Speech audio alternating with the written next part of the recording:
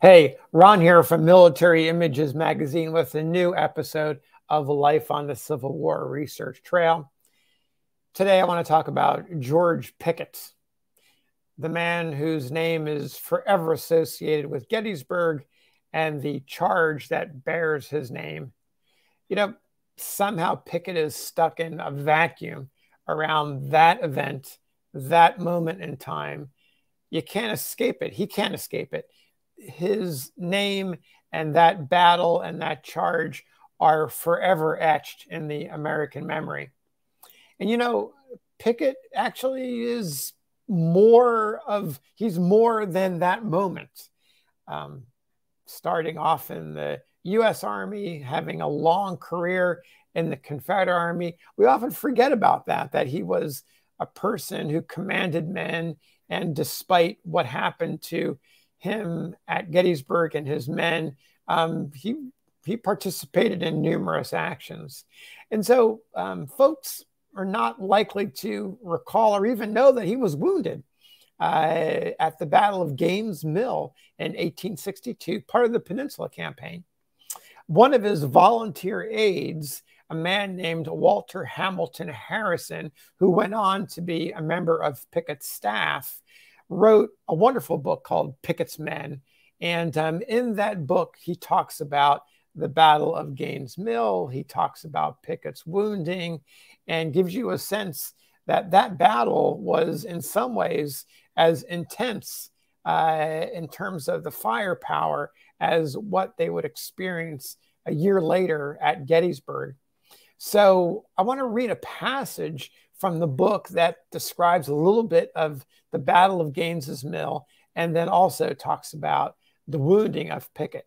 So here's Walter Harrison talking about the event, and he begins. and I'm going to start the passage here when he describes the earliest part of the battle.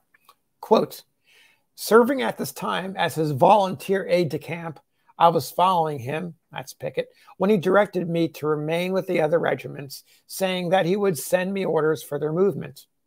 As these two regiments, with him, moved out of cover, a few puffs of smoke and sharp rifle cracks from the oat field in front proved that the enemy were not only concealed there, but wide awake to our movements.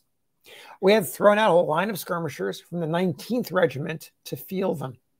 Nothing as yet had been heard from General Jackson's column, although we knew he was somewhere on our left, the general order being that we were to attack in front upon hearing his musketry open upon the enemy. We had not long to wait. General Longstreet's adjutant general, Major Sorrell, soon brought the order to advance. In the absence of General Pickett from this part of the field and being temporarily charged by him to await his orders, I rode up to General Longstreet and received the order from him in person to charge with the three regiments directly across the field and upon the enemy's works. The 19th Regiment was now on the right, being the center of the brigade, the 28th next, and the 56th on the left. In this order, we charged at the double quick over this terrible piece of ground. General Pickett, with the other two regiments, moving down at the same time from the extreme right, the five regiments were again united in the center of the field and pressed the charge in full line of battle, brigade front. In a few minutes, the skirmish line of the enemy was driven in or literally run over. The fire from the enemy's batteries and small arms was now terrific. I have never seen such a storm of projectiles of every description, and at short range, concentrated upon so narrow a field of battle. The effect upon our ranks was terrific, but the brave old brigade pushed on. The men fell around us like leaves in autumn. The officers were being fast thinned out. Colonel Withers, leading his regiment, was soon shot down and supposed mortally wounded. Lieutenant Colonel Slaughter, commanding the 56th, was wounded as badly. Neither of these gallant officers was ever again fit for service in the field. Many others doing as valiant devoir on this bloody ground were, according to the inscrutable providence of battles, preserved entirely, or else slightly wounded. It is difficult to comprehend how anyone could have come out of such a fire unhurt. It was almost impossible to see or hear anything distinctly, such was the continual rush of the shot and shell. General Pickett was within 10 paces of me when he was shot from his horse. I did not perceive his fall until he said to me in very expressive terms that somebody had hit him. I immediately dismounted, examined his wound, and found the hole of a minie ball in his shoulder. This scarcely occupied a moment when we pressed on with the brigade leading our horses.